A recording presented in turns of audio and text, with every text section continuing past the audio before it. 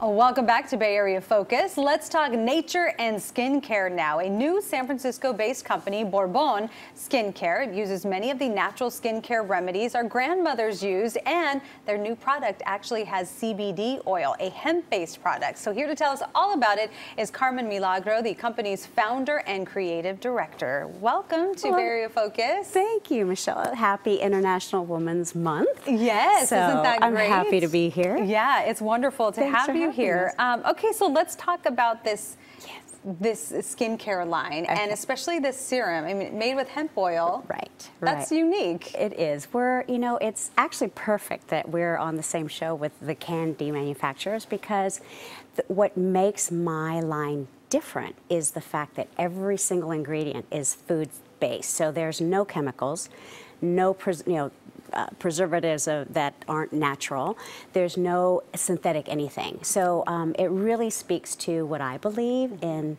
You are what you eat, but you are also what you put on your skin because it really only takes about you know, 30 seconds. So whatever you've applied to your skin is being absorbed directly into your bloodstream. So like eating healthy, I think we should take care of our skin in a healthiest possible way. What inspired you to create this line? Uh, there's a couple of reasons. There's always the reason of vanity. Of course, we all want to look good and You know, young for as um, long as we can. I, I was about to turn 50 and I had gigantic uh, age spots on my face and being an entertainer and a singer, that's a big deal, you know, as you know.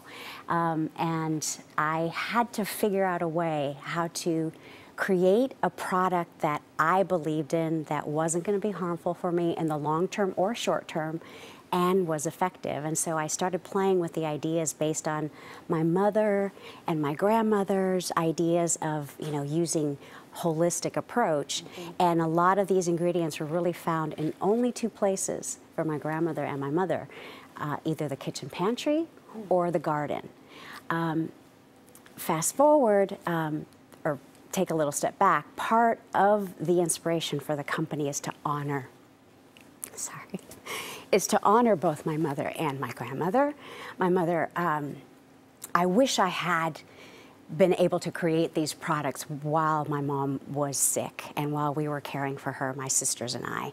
I tried to find products that wouldn't be harmful, you know, to her in the sense of I just wanted the best possible formulations and. Um, it didn't happen, the creation of the products or the company, until after I lost her. But it is in her honor that I'm doing this. Yeah, and she was definitely the inspiration behind it. definitely, um, I just think that you know we we should love our skin the way that it feels, but we should also honor our bodies, and that's sort of the premise for the whole line. No, it sounds wonderful. I, it's also also a Latino-owned Yes. uh, a company Yes. based in San Francisco. Yes. Which is great too, especially when you're talking about International Women's Month. yes. Um, what we're trying to do in everything, the way that I've always lived my life, and I've been very fortunate, is to be in an inclusive community. And I think that's really special. I think it's more important than ever. Um, so that is also what we're doing in within the company. The formulas are based on.